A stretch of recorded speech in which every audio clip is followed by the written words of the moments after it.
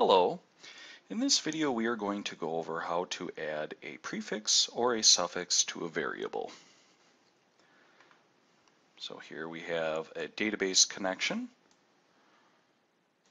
and if I add this field this is the information that appears in the database.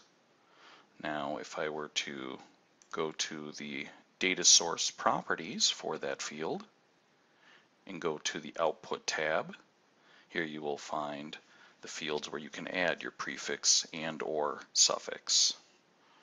So for example, if I put 1, 2, 3, 4, 5 in the prefix, and click OK, it has now added that to the beginning of that database entry. This can be very useful in cases where you need to use a counter. Here I have added the prefix SRL and the number 5 to, as a suffix to this counter. This counter is set to zero, but I could change it to say 100 and then add it to the label. You'll notice now that that prefix and suffix will appear as a part of that counter.